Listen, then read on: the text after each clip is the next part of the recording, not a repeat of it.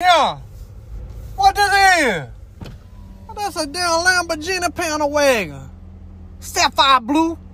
Lamborghini, boy, you could, man, look how big that thing is, man. You fit two, three bitches in there and throw a deer in the back. God dog.